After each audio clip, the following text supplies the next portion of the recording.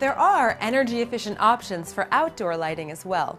For porch and deck sconce type fixtures and pole top lanterns by walkways and drives, replace medium base incandescent A line or Decor B10 lamps with ultra LED replacements.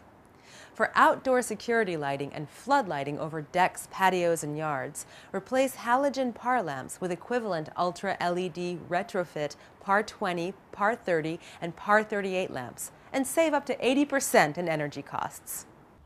And finally, here's a tip for additional energy savings. Install timers, photocells, and motion sensors so these types of lights turn on only when needed. That's a good idea, not just for outdoor security elements, but for plenty of handy interior fixtures as well, even night lights.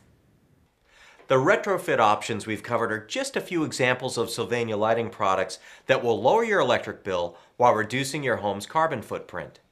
Using energy efficient lighting helps reduce the impact on the environment by reducing carbon dioxide and other greenhouse gas emissions from power generation facilities.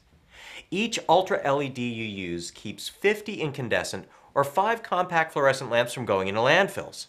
And the fewer landfills we have, the more space we have for beautiful green golf courses. Or other nice things. It doesn't take much to beat a landfill.